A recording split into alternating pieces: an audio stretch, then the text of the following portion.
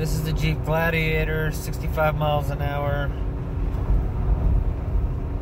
towing a trailer. Uh, below half tank of gas. I started full. I've gone 125 miles on this tank of gas.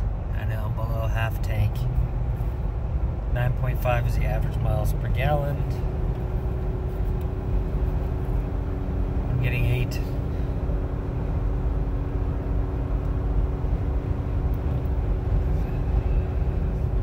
About 3,600 RPMs.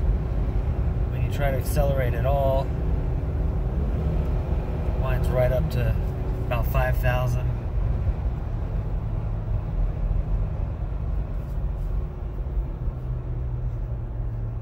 So it's not the best vehicle to pull trailers with. This truck does have the trailer tow package.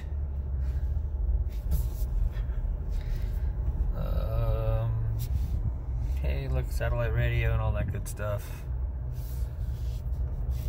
So now I'm pulling into the gas station to get some fuel.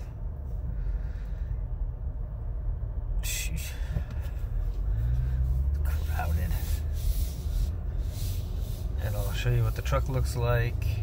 Uh, there's 1,137 miles on this car. Or this Jeep.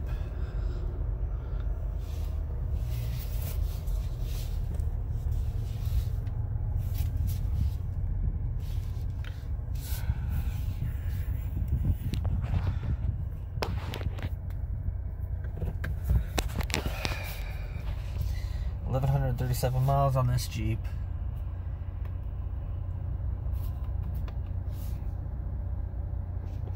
So for this tank of gas, eh, I've done 126 miles, and it's just below half tank. Two hours and 21 minutes. Um, so I'm on a turnpike, and gas is few and far between. So since I only have 75 miles left till empty, right here, and just below half tank, I'm gonna go ahead and get more fuel so I don't run out somewhere. Um, I went from Denver to Oklahoma City without a trailer, and then Oklahoma City back to where I'm at now, which was a total of 801 miles, and I'm averaging 10.8 because of the trailer. On the way to Oklahoma City, I averaged about 18. So just the the uh,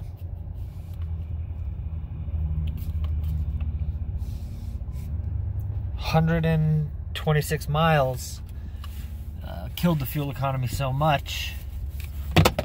Um, that it went from 18 to 10, even though I've already done 680 miles, you know, at 18. So, anyway, it's not a great truck to pull something with. Uh, I let it idle a little bit before I turn it off. So it just cools down. I know it's not a turbo, but